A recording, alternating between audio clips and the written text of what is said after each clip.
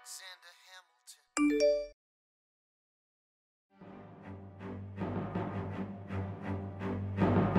I need a weapon.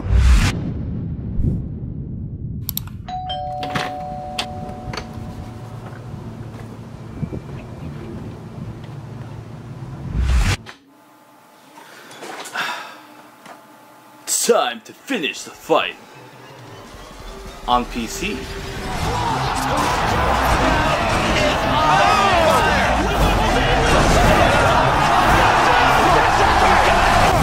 What's going on everyone? My name is Juan and welcome back to another All-in-JUAN video. In case you guys haven't heard, Halo 3 is coming on PC on July 14th, which is this upcoming Tuesday. And as you just saw, I gave my PC some much needed love, which means I now have the capabilities to live stream my PC games. Which brings me to my really exciting announcement. I will be live streaming Halo 3 on PC right here on YouTube on July 14th when it releases. Now I saw some sources saying that Halo 3 would be live at 10 a.m. Pacific time, which in my time is 1 p.m. Eastern Standard Time. If anyone knows more about this, can confirm or clarify this, that would be very much appreciated. But I'm going to try to aim to go live either an hour or half an hour before it releases. I might play the campaign first, or I might just drop right into matchmaking. I haven't quite decided yet. But either way, you guys should stop by and say hi. Come hang out and we'll talk about Halo or really anything in general. In the meantime though, if you haven't seen it yet, I highly recommend you check out my vlog